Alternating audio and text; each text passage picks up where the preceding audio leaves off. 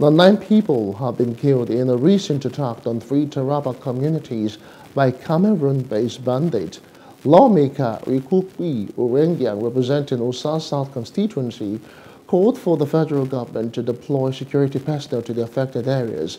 He criticized the bandits for unabated attacks and cited daily killings of children. Urenyang urged stakeholders to prioritize security over politics and commended the state governor for his concern. Over 500 people have been killed in Ussa and its environment by bandits and terrorists in the last few years. Many have been displaced and are quartered in various IDP camps. The murderers come in from Cameroon via, via the bordered communities like Acha, Takum 2, and other boundary communities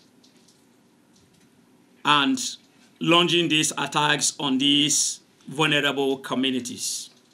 Two weeks ago, nine people were massacred in Junwakida. The motive of the killers is to subjugate the people, exterminate them, and take over their lands. The victims are helpless villagers who live in hamlets and cultivate farms. The State Police Command spokesperson Abdullah Osman reveals awareness of cross-border crimes from Cameroon and plans to deploy more officers to vulnerable communities.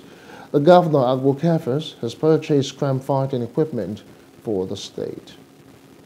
Ussa is one of the state main food producers, particularly grains and fruits.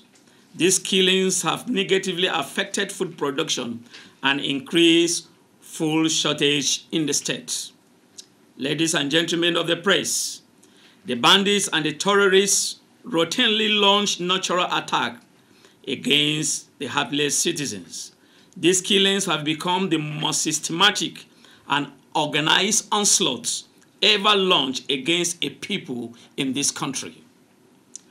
I humbly request that the federal government, without any further delay, should domestically deploy the military to strategic location in Ussa with special consideration to Pambo Yashi area of Kombo Ward where five people were killed on their way from Fikiu to Pambopri few days ago. Hello. Hope you enjoyed the news. Please do subscribe to our YouTube channel and don't forget to hit the notification button so you get notified about fresh news updates.